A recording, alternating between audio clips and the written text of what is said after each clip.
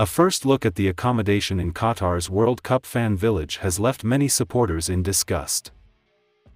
The showpiece, which is being played in the winter for the first time ever, kicks off in 10 days' time and images of where thousands of fans will be staying have been circulating online, with more than a million people coming from all across the globe for the Festival of Football.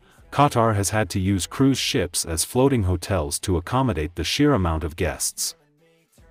And another idea they launched is a series of fan villages, though they look like shipping containers and make the Fyre Festival accommodation look 5-stars. At the Al Ahmadi Fan Village, twin single and double beds are available and there is a mini fridge and bathroom slash shower in each cabin, as well as air conditioning. You get two bottles of water to help you get through the sweltering desert conditions and on site there is a large screen to watch games, as well as a tennis court and fitness center. However, the rooms look like something you'd get in student halls at university. You might think that it's only someone to lay your head but stays will set you back 740 Qatari Rial, which is nearly 200 pounds, per night.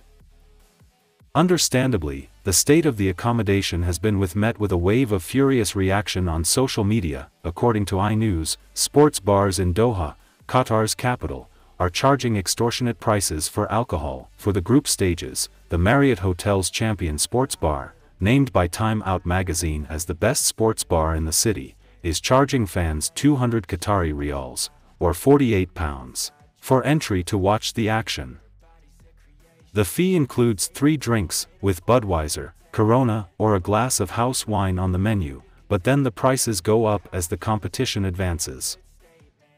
For the semi-finals and final, entry fee is set at a ridiculous 1,000 rials, which equates to 240 pounds and essentially means customers are forking out 80 pounds for a single beverage. It should all be noted that if you stay for more than one game, you then have to be pay another entry fee. Former FIFA president Sepp Blatter has admitted that awarding the World Cup to Qatar was a, a mistake and at this point it's hard to disagree.